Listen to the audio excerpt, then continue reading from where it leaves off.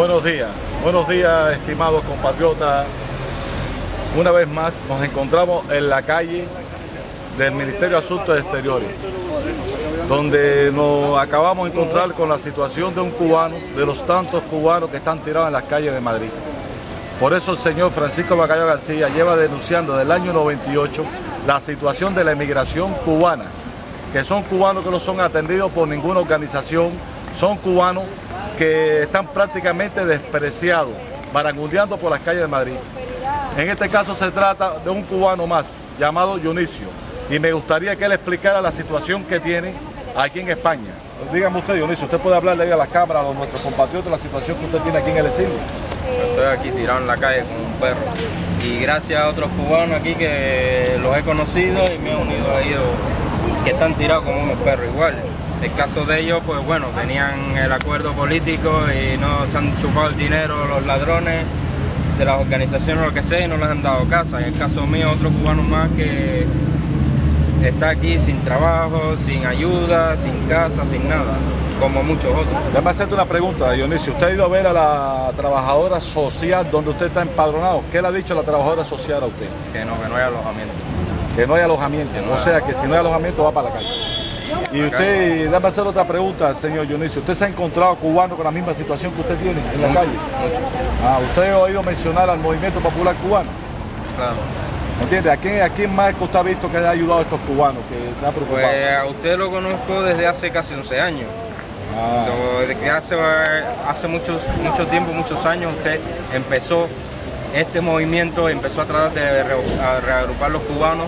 Estuve ahí, la gente habló muy bien, los mismos cubanos, había mucha esperanza, pero al final, pues no sé. ¿Y qué, qué no fue? A ver, ¿qué usted me puede explicar por qué los cubanos se han dividido, por qué se han separado? La opinión suya, por favor.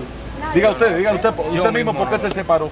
Usted mismo Yo- explica la verdad. No, es ¿Por que yo mismo no sé qué es lo que ha pasado. La gente empezó con mucho ánimo para empezar ahí, ahí, y que se iba a hacer eh, búsqueda de empleo, todo, cada uno iba a poner lo que tenía, cada iban a defender estos derechos, pero después no sé, Vale, no sé vale. qué pasó. Y de ahí para allá, ¿qué usted ha hecho? ¿Se ha encontrado en estos momentos sin trabajo en las calles? ¿Y alguien se le ha acercado? ¿A cuántas organizaciones políticas usted ha ido a...?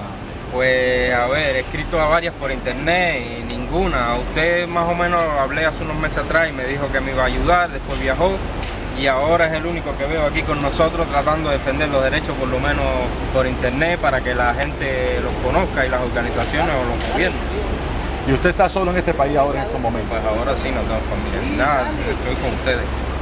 ¿Qué usted le pediría a los cubanos del exilio, a las organizaciones que están cogiendo subvenciones, a aquellas organizaciones Pues que den una re- ayuda real, que no se esté, los que tienen las subvenciones, que no se estén robando el dinero que, nos to- que es para nosotros, para los que estamos en la calle sin ningún recurso. Que den eh, subvención a los que no tienen, en este caso, por ejemplo, usted que está aquí con nosotros, tratando de defender nuestros derechos para un alojamiento digno y si no, que, pues, que nos lleven a otro país o nos den recursos para poder ir a Estados Unidos o otro país, porque la verdad que esto es... ¿Y cuáles son los lugares que usted duerme? ¿Dónde usted duerme? Pues hoy he dormido aquí, he dormido bajo un puente, he dormido en la playa en Málaga, dormido en albergue ¿Y, también. cómo usted se ha, arregla- se ha arreglado usted para poder, eh, por, por su alimentación, cómo usted ha podido comer, cómo usted ha podido...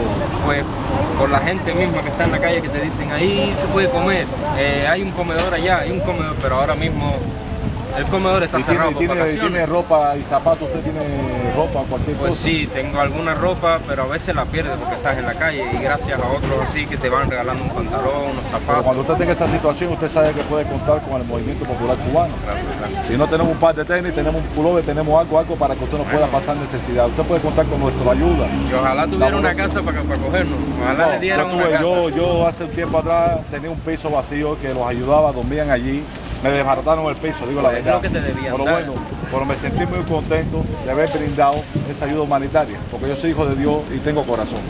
Y una vez le estoy explicando al exilio, al exilio español que por favor vamos a tratar de unirnos todos, resolver, solucionar los problemas, sobre todo de los cubanos, ¿eh? ayudar a todos esos presos que están desfavorecidos, que tienen situaciones con el problema del tratado, que se unan. ¿eh?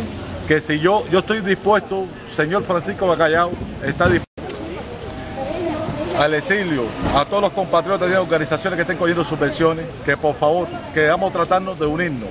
Yo, Francisco Bacallao, estoy dispuesto a colaborar, a colaborar y ser uno más. ¿Tú me entiendes? Vaya, el que de verdad quiera luchar por una razón, el que, que quiere luchar la parte humana de los cubanos en el exilio, el señor Francisco Bacallao se pone bajo sus órdenes. Yo no busco protagonismo, ni busco cargo, ni busco nada, porque no tengo estudio. Lo que tengo es la voluntad ¿eh? y el corazón que tengo para seguir ayudando hasta lo que pueda a cualquier cubano. Y no hace falta solamente dinero, solamente lo que hace falta apoyo. Que vengan aquí a ver a esta familia de Carlos Martí, le traigan un pan, un refresco, una botella de agua fría y estén con ellos ¿eh? para que vean la situación que se encuentra esta familia. No tienen baño, no tienen cómo ducharse, no tienen cómo comer, no tienen asistencia médica porque no tienen derecho. La asistencia médica si la tiene es porque tiene que ser un caso de urgencia. Ahora mismo hay una niña que tiene dolor de ovario, está muy mal y nadie le da solución a esto. Le vuelvo a repetir tanto al gobierno socialista, tanto a las relaciones exteriores, por favor, solucionen el problema de esta familia, que eso es responsabilidad de ustedes. Ustedes fueron los que hicieron el tratado con el gobierno de Castro. Nosotros lo que damos apoyo y tratamos que todo se solucione. Ellos están pacíficamente frente a esta plaza reclamando su derecho, un derecho que lo tienen o si no, toman otro tipo de medidas con ellos, pero traten de solucionar este problema. Por favor, muchas gracias.